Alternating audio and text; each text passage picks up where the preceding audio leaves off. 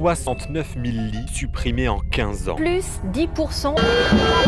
Thomson Multimédia, ça vaut un franc symbolique. Pénurie de médicaments. La part de l'industrie dans l'économie française a reculé de 6,5% en 16 ans. Le fleuron français du béton quitte l'Hexagone direction la Suisse. Le principe actif des doliprane, lui, est produit en Chine. Je trouve qu'en effet, vous êtes plus molle que nous pouvons l'être. Ça sert à rien de voter, on va dire. Qui représente quoi? D'un côté l'élite et de l'autre le peuple.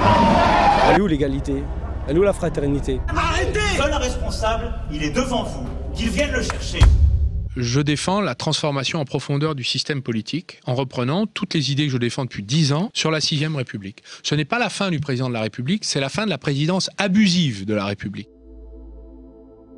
À l'Élysée ce matin, convocation par Emmanuel Macron du Conseil de défense, devenu depuis le début de la crise sanitaire l'outil de gouvernance préféré du président. On a un président de la République qui décide seul. Si vous voulez faire la mutation écologique, la réindustrialisation de notre pays, vous avez besoin d'une association de la population à ses objectifs nationaux. Pour cela, nous avons besoin d'un nouveau système politique. Ce n'est pas les représentants du peuple et de la nation qui, dans cette République-là, ont le pouvoir. Ce que les Français ont compris, c'est que derrière les questions économiques se jouait la question de la liberté. Nokia achète Alcatel-Lucent. En 2003, c'était le Canadien Alcan qui rachetait l'aluminium de Péchiné. En 2006, l'Indien Mittal qui avalait Arcelor et son acier. Quand vous mettez en compétition un paysan chinois qui accepte un salaire de misère pour travailler dans une usine d'une multinationale en Chine, avec les ouvriers européens, français, allemands, c'est scandaleux, c'est dangereux et c'est absurde. Et c'est ce qu'on a fait. Il n'y a aucune raison qu'on continue à produire à 20 000 km qu'on peut produire ici. C'est une stratégie de reterritorialisation, de relocalisation d'activités qui sont parties. Vous faites de la croissance, vous détruisez les biens naturels, la planète. Mais pendant ce temps-là, vous, vous organisez la mort de vos arrière-petits-enfants. Donc on ne pourra pas continuer avec ceci. Donc pour moi, la mondialisation, elle est terminée. 24 avril 2014. À bord de son jet privé, un patron heureux. Il vient de réussir un gros coup.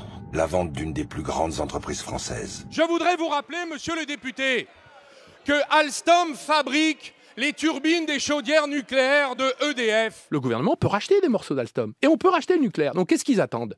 C'est ça qu'il faut faire. À force de chercher le prix mondial, donc le prix le plus bas, on s'est aperçu que nous étions en perte d'indépendance. Nous ne pouvions plus choisir.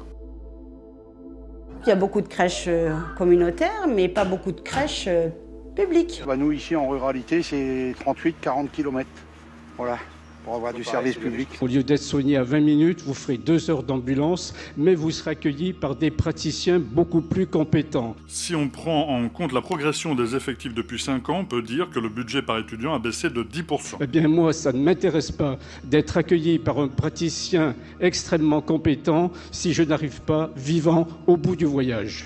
Quand on dit qu'il faut inventer de la citoyenneté, quand on dit voilà, on va faire des, par exemple des, des, des, des manifestations culturelles, ça coûte de l'argent. Sarcelles est la quatrième ville la plus pauvre de France. Je suis président de mon département, qui est un département qui était au bord de la faillite. Oui. J'ai été obligé de faire comme M. Papandréou en Grèce. Diminuer les dépenses de 10%, c'est énorme, et augmenter les impôts de 15%. Il euh, y a un moment où euh, la politique euh, ne peut plus faire cela. Et pour une raison simple, c'est que on est obligé de prendre des décisions contre la population. Et moi, je ne suis pas d'accord avec cela. Ceux qui font l'élection présidentielle sont les classes populaires, qui sont majoritaires dans ce pays. Donc soit on s'y intéresse et on gagne, peut-être, en tout cas on est en mesure de porter la voix de la majorité, soit on ne s'y intéresse pas et on reste très minoritaire.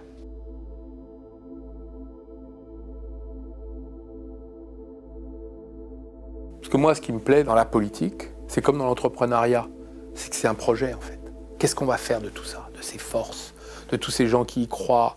Euh, C'est extraordinaire ce qu'on pourrait faire avec la politique. On pourrait changer le pays, on pourrait même changer un morceau du monde. Peut-être pas le monde, mais un morceau du monde. Franchement, il y a tellement de choses à faire.